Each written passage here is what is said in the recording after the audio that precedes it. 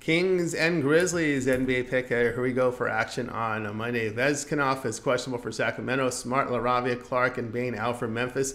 Rose and Kennard questionable. Sacramento improved to 26 and 18 with their 120 to 115 row win at Dallas. Kings shot 54%, 37% from three. It was De'Aaron Fox with 34 points, five assists. Harrison Barnes, 20.6 rebounds. Sacramento allowed 44% shooting to the Mavericks, 35% from three. Memphis now 18 and 28 after their 116-110 road defeat to Indiana. Grizzlies converted 46%, 37% went in from three. Jaren Jackson got 25 points, 5 rebounds. Vince Williams chipped in with 20 points, 8 rebounds. Memphis allowed 49% shooting to the Pacers, 37% from three. Memphis in their past five games allowing 112 points per 100 possessions, a minus 3.5 net rating. Look at Sacramento on the road, allowing over 114 points per 100 possessions, a plus 1.2 net rating.